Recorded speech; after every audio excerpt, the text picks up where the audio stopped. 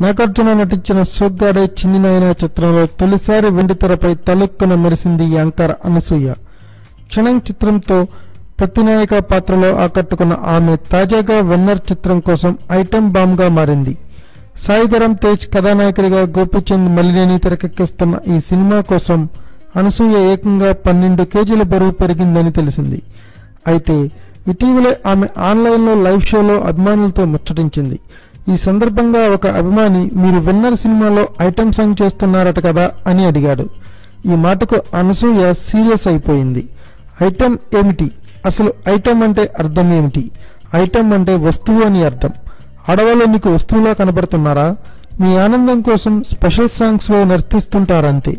దయచేసి అలాంటి పాటలను ఐటెం సాంగ్స్ అని పిలవకండి అని అనేసింది. మరి అనసూయ చెప్పిన విధంగా అందరూ ఈ విషయాన్ని పాటిస్తారో లేదో వేచి చూడాలి. Thanks for watching please subscribe our channel